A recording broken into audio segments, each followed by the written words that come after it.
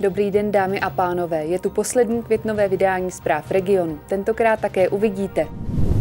Státní veterinární zpráva se zabývá chovem psů v obci Třebovice.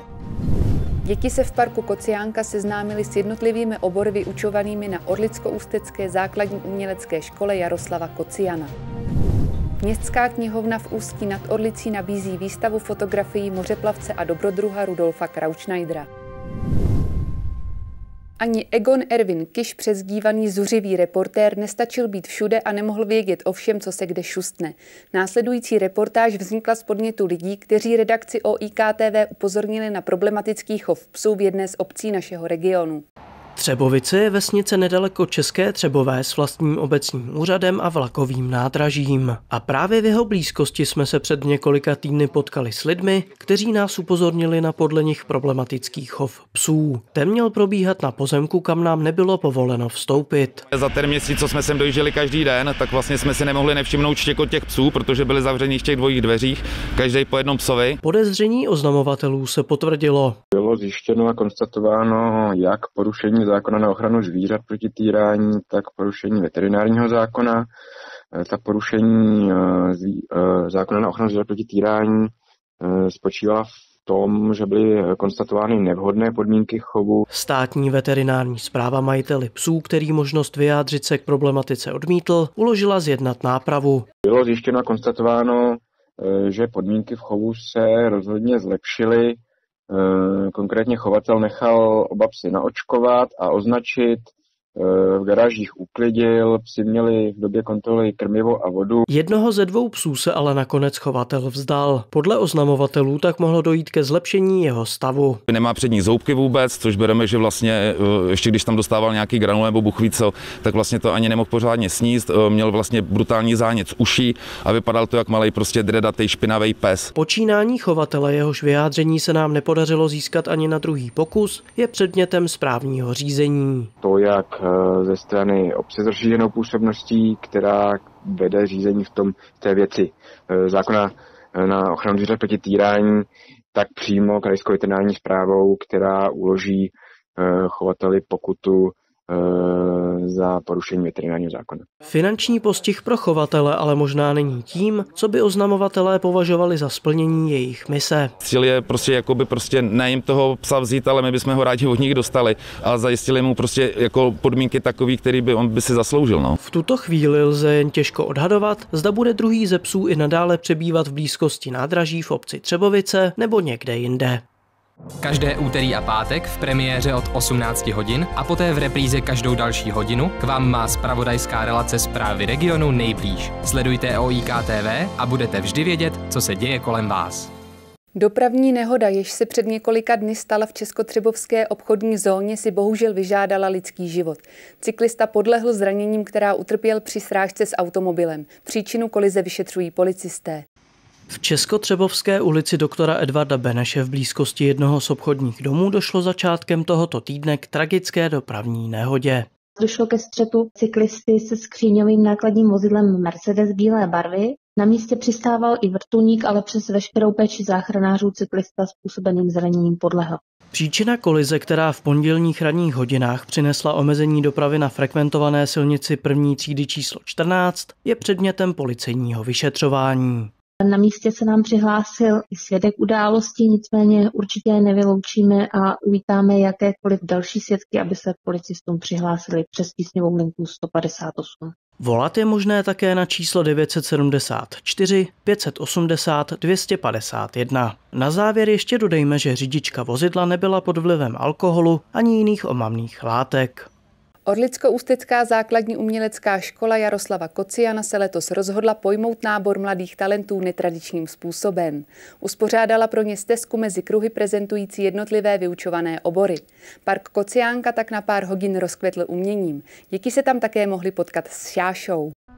Ani pandemie neodradila učitele základní umělecké školy Jaroslava Kociana, aby i letos dětem či jejich rodičům představili jednotlivé obory a s hudebními nástroji vyrazili přímo ven do parku Kociánka. Chceme, aby si naši noví adepti mohli vyzkoušet nástroje, aby se na ně mohli podívat, aby si mohli vůbec podívat, co ta naše základní umělecká škola nabízí. Vrázky na čele jim dělalo jen deštivé počasí, díky kterému museli konání akce posunout na poslední možný termín. Nápad uspořádat vše pod širým nebem se zrodil ještě v době, kdy v našich končinách panovala paní zima. Je tady 14 stanovišť a v každém stanovišti najdete hudební nástroje, které se tu učí, nebo taneční obor, výtvarný obor nebo literárně dramatický obor. Děti na stanovištích čekali různé hry. Kromě vyzkoušení si jednotlivých hudebních nástrojů si mohli rovněž otestovat své zručnosti, zpěv nebo tanec. V rámci tanečního oboru pro ně byla připravena krátká pohybová stezka. První úkol byl prolézání pavučiny,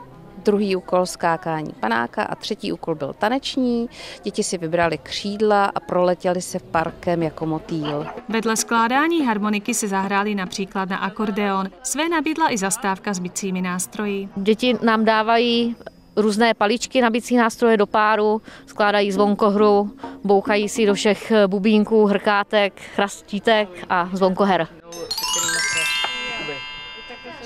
Mezi příchozími byl i Šáša. Ten nedávno navštívil základní uměleckou školu a natočil tam krátké video. Děti se alespoň nadálko mohly obeznámit s vyučovanými obory, učiteli či místnostmi, ve kterých probíhá výuka. Nápad pozvat Šášu do školy se zrodil v hlavě vedoucího dramatického oboru Jiřího Zajíčka. No já jsem nadšený. U nás se bavila celá rodina, pouštěli jsme to dokonce dvakrát, takže, takže veliké nadšení. Šáša nám prozradil své dojmy se setkávání s dětmi a hudebními nástroji.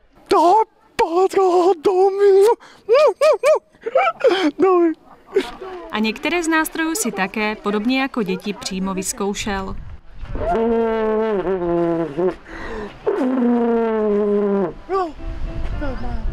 Bavili se i ty, pro které bylo sobotní odpoledne určeno nejvíce. Děti. Klavír se mi nejvíc líbil a pak jsem už byla na bubnu, na saxofonu a teďka jsem na houslích. Mně se nejvíc líbilo bicí, protože mně se strašně líbí a chtěl bych na něj hrát. Po splnění každého z úkolů dostali jedno ze 14 razítek. Po sespírání všech na ně čekalo v cíli překvapení. Tím byl učiteli ručně vyrobený odznak s motivem šáši, balónek či sladká dobrota. Znáte skladbu Jeruzaléma? Ta se stala hitem loňského roku a symbolem boje proti koronaviru. Chytlavé jihoafrické tóny se spojují také s celosvětovou taneční výzvou známou pod názvem Jeruzaléma Challenge. Ke zdravotníkům, policistům, hasičům, pilotům či letuškám se přidali také učitelé a další zaměstnanci základní školy Aloise Jiráska v Lančkrouně. Taneční výzva Jeruzaléma Challenge uchvátila také pedagogický i nepedagogický spor Lanškrounské základní školy Aloise Jiráska.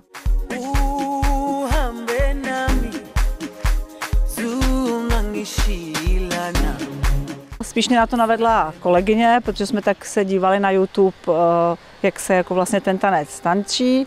No tak jsme si řekli, co kdyby jsme se do toho pustili. Mezi učiteli se postupně začala šířit zpráva o tom, jestli výzvu pokořit. Nakonec o zájemce nebyla nouze. Já osobně jsem byla nadšená, protože samozřejmě už jsme byli strašně dlouho doma a sami sobě si navzájem vlastně chybíme a člověk je v takovém stereotypu a potřebuje se trošku uvolnit. Souhlasili a prostě a najednou to prostě jelo. A protože učitelé jsou kreativní, takže nám stačilo jedno odpoledne to trošku nacvičit. Eh, a pak jsme se prostě jako jedno odpoledne ještě sešli na natáčení a bylo to.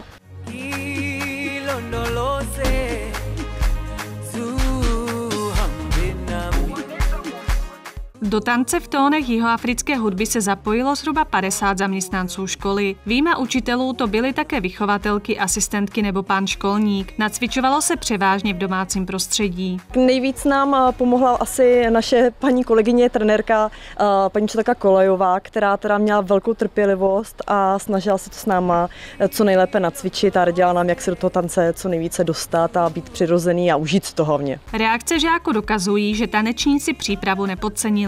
Já si myslím, že se jim to povedlo a že je fajn, že i v téhle době to dokázali prostě se cvičit a domluvit se na tom. Mně osobně se to hrozně líbilo, protože to bylo zábavné a hrozně nás to všechny potěšilo. A já mám fakt výborný pedagogický sbor, já jsem na něj nesmírně hrdá a pyšná prostě, že pracuji s těma lidma, protože oni se fakt každé takové nějaké příležitosti zábavné, pozitivní, okamžitě chytnou a pustí se do toho. I z odezvy veřejnosti je zřejmé, že pozitivní energie, kterou se škola snažila svým tancem předat směrem na venek, našla své příznivce a veškerá snaha rozhodně stála za to. Lidé a oceán. Tak zní název výstavy českého mořeplavce, publicisty, spisovatele či ilustrátora Rudolfa Krautschneidera, která momentálně probíhá za zdmi Městské knihovny v Úzký nad Orlicí. Zhruba třistovky fotografií z cest kolem Antarktidy či severně z ostrovu Špicberky, poloostrovu Labrador nebo Grónska jsou k vidění do konce srpna. Výstavu, která byla zahájena vernisáži před městskou knihovnou, tento mořeplavec a dobrodruh pojmenoval podle své knižní prvotiny. Protože moje první knížka, kterou jsem vlastně vydával v Ústí na Torlíci v roce 90, se jmenovala Lidé a oceán, čili pro mě lidé jsou víc a blíž než ten oceán. Příchozí se mohou pokoukat fotografiemi ze stavby lodí či plaveb do polárních moří, které byly jeho celoživotním cílem a motivací. Seznámí se tak s polárkou Viktorií nebo Polkou, tak zní jména některých jeho plachetnic. Moje nejdelší plavba trvala skoro čtyři roky, byla kolem Antarktidy, ale já jsem specialista na polární kraje, takže jsem samozřejmě navštívil Špicberky, ostrov Jan Mayen, Grónsko, Labrador, celý sever a celý jich vlastně. Rudolf Krautschneider se narodil ve Vídni. Původním povoláním je dřevorubec. Svoji první loď začal stavět na řece Dii. Všechny přitom postavil vlastníma rukama. Moře přitom poprvé spatřil ve svých 16 letech. Je autorem více k desítky knih. Vernisáž i samotná výstava byly původně plánovány už na podzim loňského roku. Potom nás teda překvapil koronavirus, takže jsme ji vlastně každý měsíc odročovali, čekali jsme, kdy nám to podmínky umožní. Já jsem v šoku doslova, protože pracovnice knihovny, která si to vzala za svý, eh, jmenuje se Alena Janková, tomu věnovala několik měsíců práce. Výstava potrvá tak trochu netradičně až do konce srpna. Protože zase úplně nevíme, jak bude moci být otevřeno a zda teda nás už nic nepřekvapí a potom bychom už navázali s pravidelným plánem dalších výstav, které většinou trvají tak dva měsíce. Jaké má Ruda v nejbližší době plány? Odpověď je asi zřejmá i vzhledem k tomu, že během tří měsíců postavil třímetrovou plachetnici jménem Eurika. Ta je považována za vůbec nejmenší oceánskou loď. Jedná se o jeho v pořadí 13. dílo. Pojedu začátkem července s ní do Polska, tam budu plout po Baltu, možná popluju do Norska na sever, abych ji vyzkoušel. No a když se všechno dobře podaří, tak bych v zimě plul na ty lodičce do Ameriky. V 77 letech je to odvážný plán. Jak sam říká, plavby do tropu si schovává na doby, až mu bude 80. Putování za Třebovským kohoutem má za sebou další ročník. Ten letošní byl tak trochu raritní a to nejen proto, že jeden z účastníků svou trasu údajně ušel na boso, ale také změnou výchozího bodu a zkrácením trvání akce na jediný den. Dopravní terminál Jana Pernera v České Třebové posloužil jako místo, odkud se účastníci letošního pokračování tradiční turistické události pod názvem Putování za Třebovským kohoutem vydávali směrem do cíle. Ačkoliv se akce konala už po 44. z prostoru před vlakovým nádražím se na trasy vyráželo poprvé. Jako výchozí bod byl určen kvůli vyhovění hygienickým opatřením a v deštivém počasí asi nebylo na škodu, že se jak pořadatelé, tak zúčastnění mohli schovat pod střechou. Pěší turisté měli na výběr z výletů od 6 do 50 kilometrů. Cyklisté, mezi nimiž byl například i jeden osmdesátník, měli možnost výjížďky na 20 až 100 kilometrů. Společným cílem všech byla chata Maxe Švabinského na Kozlově. Tam nakonec dorazili přibližně dvě stovky lidí. Na každého čekala odměna v podobě medaile nebo bezplatného vstupu na místní rozhlednu. Můžeme se na přelomu května a června těšit na sluníčko nebo se dočkáme pouze deště, napoví následující předpověď.